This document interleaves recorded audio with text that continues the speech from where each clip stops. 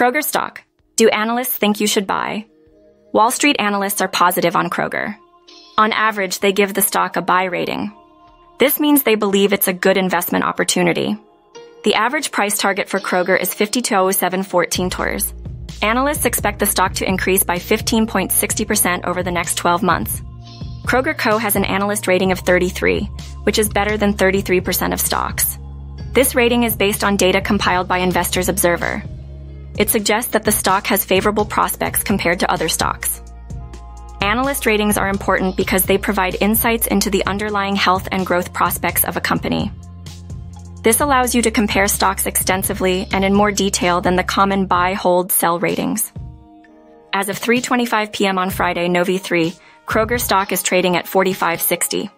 It has increased by 0.19 or 0.42% from the previous closing price. The stock has traded between 45.50 and 45.97 so far today.